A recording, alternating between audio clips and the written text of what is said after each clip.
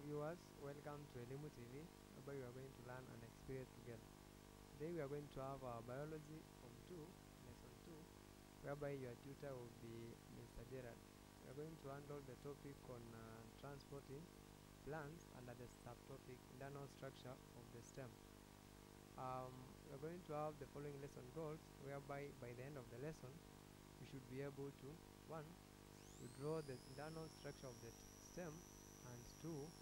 To give functions of the different parts of the stem. We can uh, first uh, have to know what the stem is before we can now go to the internal structure of the stem. We can look it at the exterior part of it, whereby we can see uh, the stem is the part of the plant above the ground onto which branches and leaves are attached. The functions of the uh, stem include one, it supports the uh, to support and expose the leaves and the flowers to the environment. Two, to conduct water and mineral ions from the roots to the rest of the plant. Three, to conduct the manufactured food from the photosynthetic organs to other parts of the plant, including storage organs. Other functions performed by stems include storage of food and water as in the cactus, perennation as in cassava, and gaseous exchange in um, woody plants. Whereby we can uh, uh, say perennation is the survival of biennial and perennial plants from one year to the next by vegetative means. Um, now we are going to have uh, the internal structure of the stem and as you can see from our diagram that is the um, diagrammatic representation of uh, dicotyledonous stem. Remember we can have also a monocotyledonous stem but in our case we are having a diagrammatic representation of the uh, dicotyledonous stem and as you can see uh, we have got uh, several um, parts starting from the uh, epidermis which is the out, uh, the outermost part uh, followed by the hypodermis um, whereby we have the sclerenchyma. Also we have the parenchyma. We have also sclerenchyma. We also have the xylem the phloem we have the cambium and uh, also we have the cortex parenchyma and we have the medullary ray so now we can have uh, at least um, we define the function of each part as we can see from the diagram. So as we are looking at the diagram. I'm going to define uh, the function of each part whereby I'm going to start with the epidermis. Whereby we can say that uh, the epidermis is a single layer of cells covering all plant organs. The epidermal cells are elongated in the direction of the stem length and flattened they have no chloroplast and their outer walls are covered by a waxy cuticle that prevents excessive loss of water through evaporation the cuticle also protects the inner tissues from infection and mechanical injury.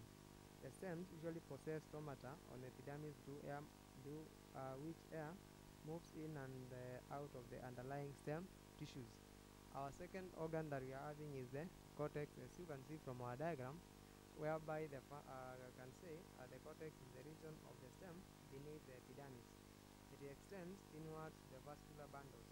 The following simple tissues may be found within the cortex, whereby under the cortex we are going to have the uh, collenchyma, parenchyma, and the uh, sclerenchyma.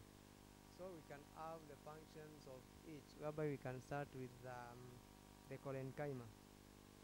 So we can say the collenchyma, it is the tissue uh, which is lying beneath the epidermis. It may form a complete cylinder or it may occur in separate strands. From a longitudinal uh, view, the collenchyma cells they are elongated and have jointed oblique ends. The walls are thickened at the corners with cellulose and pectin deposits. Due to this thickening, collenchyma serve as a strengthening tissue. Uh, we have also said that uh, we still have the parenchyma, whereby the parenchyma tissue it constitutes the greater part of the cortex. The cells are irregular, whereby the cells are irregular uh, in shape, thin walled and uh, loosely packed, as you can see from our diagram, ends creating intercellular spaces filled with air. The function uh, is for storage. Well, we have also said that we have the sclerenchyma, whereby the sclerenchyma is found in close association with the vascular bundles. The walls of the sclerenchyma cells are thickened by deposition of um, we have depositions of the parenchyma the deposition of lignin in a process known as lignification. Um, as you can see, we have got what we are calling the pith parenchyma. We have the pith parenchyma, as you can see from the diagram, whereby the pith is the central region in a dicotyledonous stem. The pith consists of a parenchyma cells that store water and the food substances. Those are the function of the, of the different um, structures of the internal part of the stem that we are having. Having uh, done and said that, we're going to have the following activity whereby you should draw and label the internal structure of a young dicotyledonous stem. For more information on the lesson, you can refer to KLB Secondary Biology, Students Book 1, 4th edition, um, Kenya Literature Bureau.